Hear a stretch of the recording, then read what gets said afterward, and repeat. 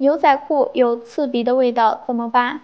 牛仔裤有刺鼻味道是正常现象，在水中加入适量的盐或白醋，将牛仔裤放到水中浸泡半个小时左右，然后放到通风并且有太阳的地方晾晒两至三天，就能将异味去除。因为加工牛仔裤时有一道水洗工艺，之后又加入了很多化工原料。制作好后就会有刺鼻的异味。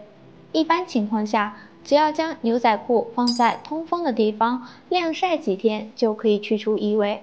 如果这种方法行不通，便可以加入盐或者白醋浸泡。如果还是不能去除异味，可以在清洗时加入具有清香气味的衣物护理剂。